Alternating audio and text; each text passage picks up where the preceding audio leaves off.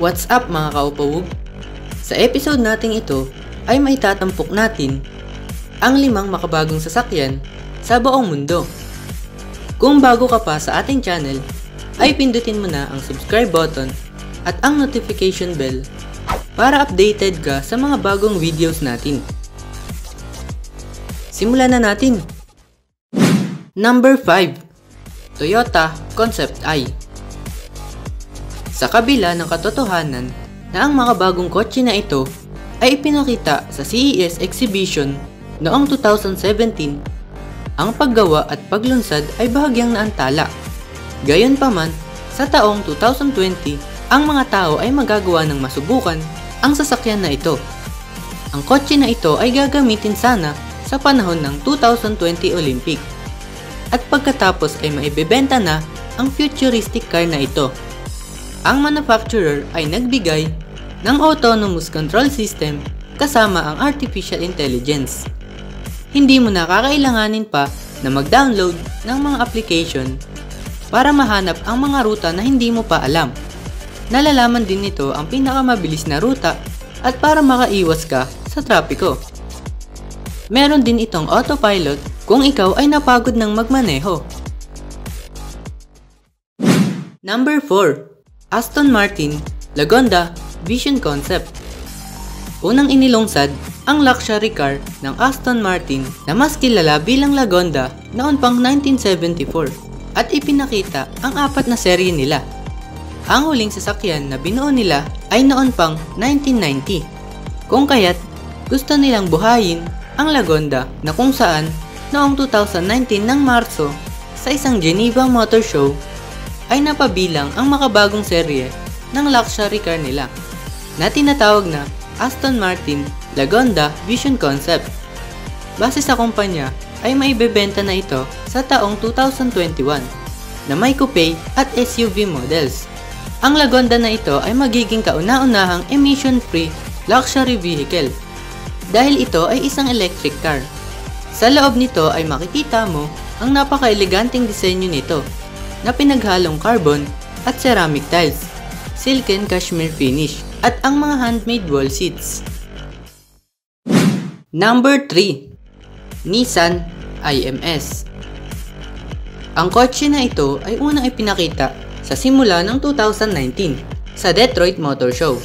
Ang Nissan ay nagbigay ng interesanting konsepto na hindi pa nakikita ni Numan. Ito ay isang elevated sports sedan na may electric 4-wheel drive.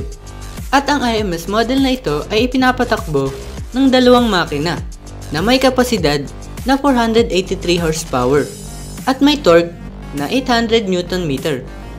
Mayroon itong electric battery na may kahangahangang power reserve na aabot sa 612 km.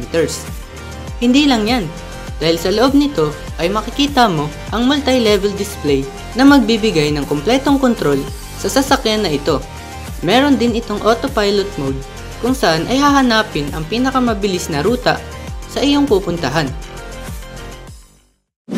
Number 2. Audi e-tron GT Concept Ang Audi e-tron GT Concept ay ang isa sa pangunahing highlight noong ipinakita ito sa isang Los Angeles Motor Show sa taong 2018. Ito ay ang pangatlong electric model na inilabas ng Audi. Ito ay isang 4-door coupe model na may nakakagulat na kapasidad na 590 horsepower, kasing lakas ng makina ng isang sasakyang pangkarera. Ang overall body nito ay napakagaan dahil karamihan sa mga parte nito ay gawa sa aluminum na may pundasyon na gawa sa high-strength steel. Ang bubong nito ay gawa sa carbon at kung mapapansin nyo naman, ang kakaibang dashboard ay parang lumulutang sa ere. Ito ay may upuan na inspired sa mga sasakyang pangkarera na gawa sa artificial leather microfiber at fabric na gawa din sa recycled fibers. Number 1. Bentley EXP100 GT ang huling sasakyan na ipapakita ko sa inyo ay ang sasakyan na mas aangat sa mga naitampok natin pagdating sa itsura at characteristics. Nakakamanghang isipin na ang kotse na ito ay makikita na natin sa lansangan sa nalalapit na hinaharap.